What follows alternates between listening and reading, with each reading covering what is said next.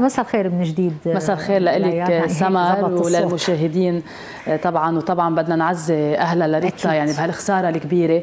اليوم بفقرة المرافعة سمر قدرت الجديد بمصادرها الأمنية ومصادرها الإدارية ضمن وزارة الأشغال أنها تقدر تحصل على كامل ملف مسح الجيش يلي منتظرينه كل اللبنانيين بموضوع الأملاك البحرية يلي اليوم بيقدر يفوت على خزينة الدولة مصاري كتير ولازم يشيل عن الشاطئ اللبناني تعديات كتير لأنه مش بس المهم دفع المصاري إنما إزالة التعديات وباختصار قبل ما نفرجي أمثلة عن شو معنى من ملفات باختصار مساحة التعديات على الأملاك البحرية بمسح الجيش الجديد هو إضافة التعديات اللي صارت من ال 94 لل 2024 هو أكثر من مليون ونص متر مربع من التعديات الإضافية على الأملاك البحرية والشاطئ اللبناني. يعني هيدا الرقم اللي عم نحكيه هو مليون ونص متر مربع تعديات اقترفت من مسؤولين من مواطنين عاديين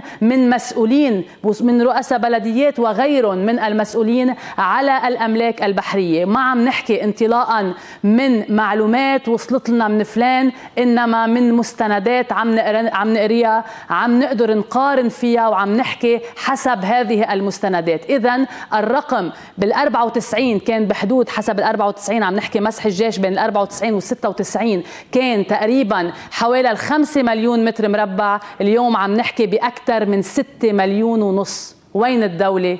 القانون 2017 يلي قال تعوا لحتى نعمل مراسيم إشغال وتدفعوا غرامات حكي بكل بساطة لنوضح للمشاهدين قبل ال 94 يلي عنده تعدي قبل ال 94 بيدفع الغرامة والتعدي بنشوف شو بنرجع بنعمل فيه.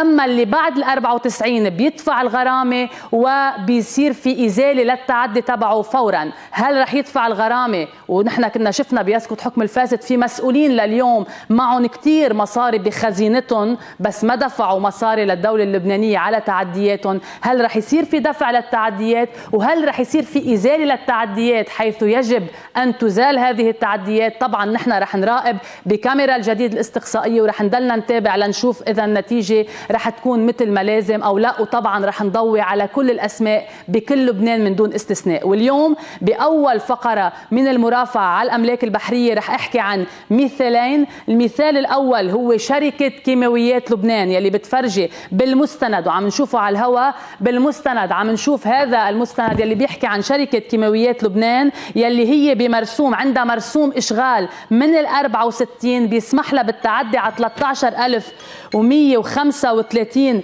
متر مربع.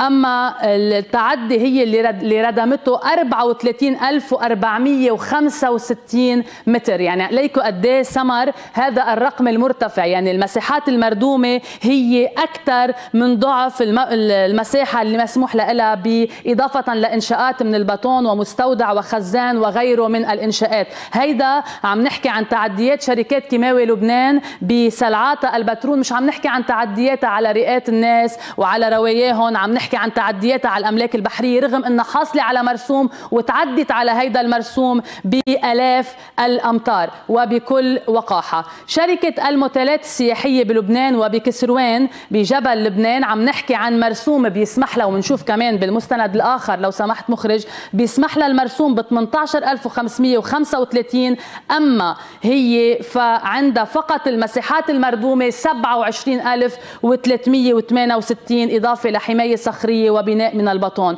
يعني هول إذا اخذين مراسيم عم نحكي مراسيم هالمثالين فقط من بطاقات التعريف يلي صادرة عن الجيش اللبناني يلي نحن كنا عم نحكيها ونفرجيها للمشاهدين بالمستندات. فرجينا عن آلاف الامتار يلي صار فيها تعدي وعم نحكي هون عن مراسيم موجودة. فكيف يلي ما عندهم مراسيم وقد إيه عددهم مستمرين بفقرة المرافعة بالأملاك البحرية لحتى نكون عم نفرجي المشاهدين بالأدلة كل المخالفات بالأرقام ومين هو المخالف؟ واليوم حكينا عن البترون وكسروان هلأ بيطلع بيطلع بعض الأشخاص بيقولوا لنا بس عندكم البترون وكسروين ما في غير مناطق بلبنان لا رايحين. لعند نبيه بري بالتعديات بالاسم وبالمستند. عند وليد جنبلاط بالتعديات بالاسم والمستند. عند كل السياسيين سمينا اثنين لأنه رحنا من ميل لميل. ورايحين على كثير وكثير من كل الأشخاص وما رح نترك بقعة فيها تعدي إلا ما نكون عم نذكرها. بس مش نحن شغلتنا نزيل التعدي. وزير الأشغال يلي حكي وطلع عمل مؤتمر وخبرنا عن مسح الجيش. اليوم هيدا المسح صحيح بعده مش موجود إلا معنا بالجديد. وطبعا معك أكيد عندك نسخة عنه. فشغلتك شغلتنا نضوي وشغلتك تكون عم تتابع وتشيل هذه التعديات.